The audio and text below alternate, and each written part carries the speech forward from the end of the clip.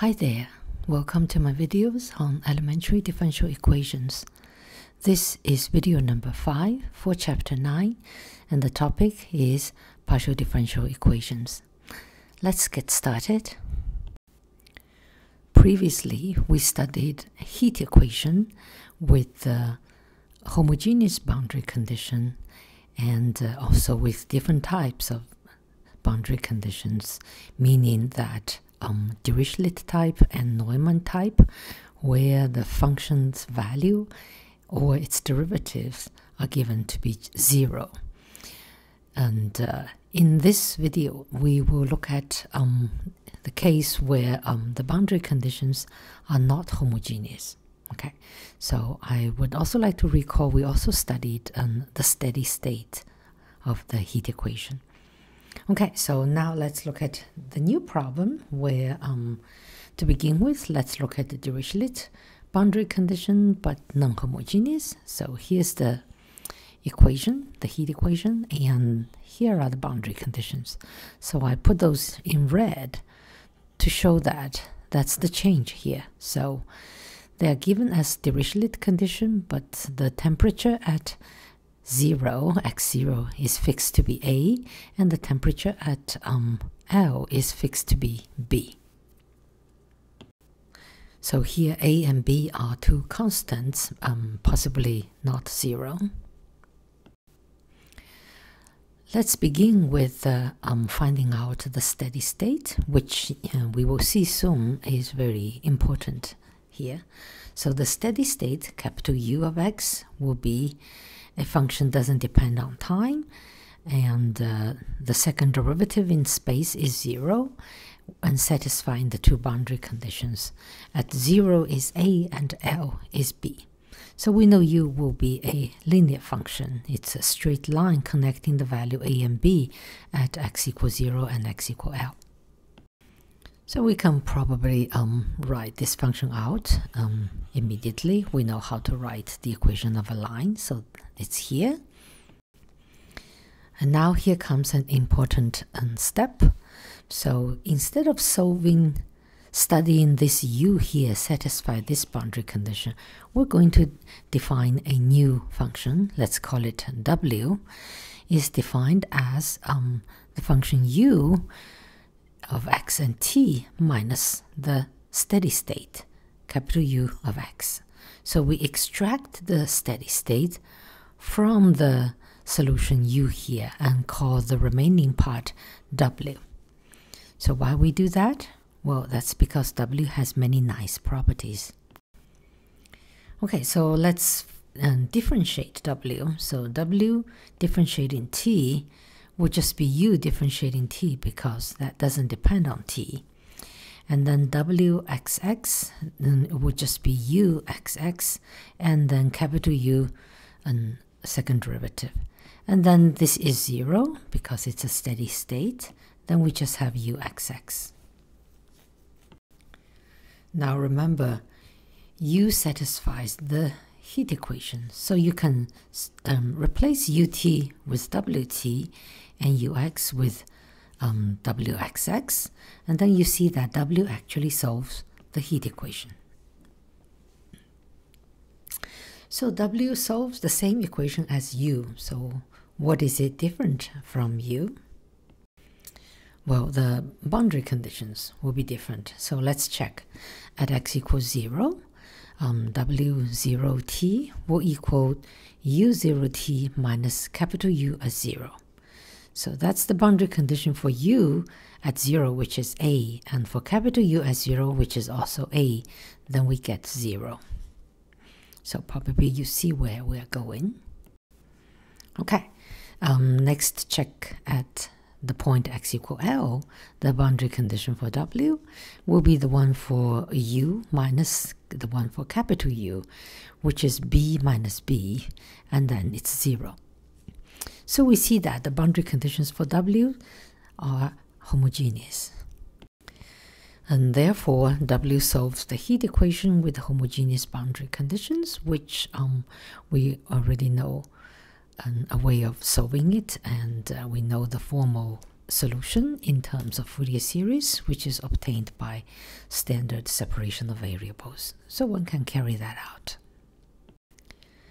And then once this is done, the W is obtained, one can go back to U by simply adding up the W with the um, steady state to obtain the solution U. Now let's take an example to see how this can be carried out. Okay, we look at a heat equation, standard heat equation with C equal 1 here, and uh, we have a non-homogeneous boundary condition. So here A will be 2 and B will be 4, and then L is 1. And then initial condition is given. Um, that is 2 plus 2x minus a sine pi x and minus 3 sine 3 pi x. Okay, so the steps here are a little bit different now. We first find the steady state, as we have discussed, because that's important.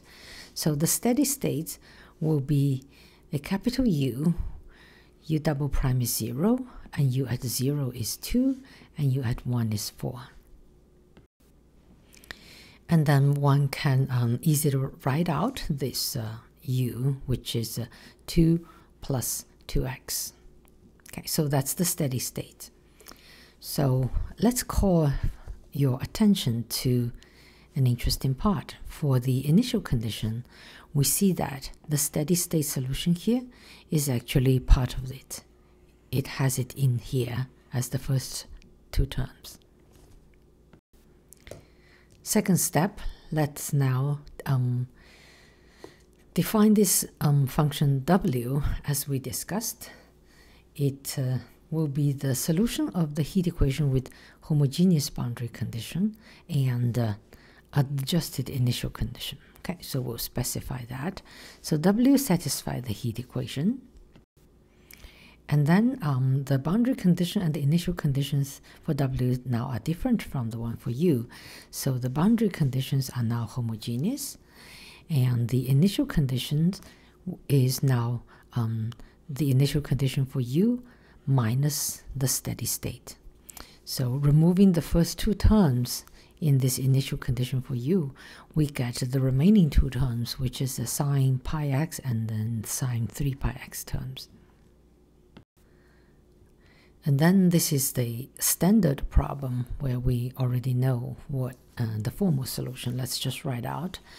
It's written in terms of a, a sine series with an exponential decay in space where Cn's are constants determined by the initial condition.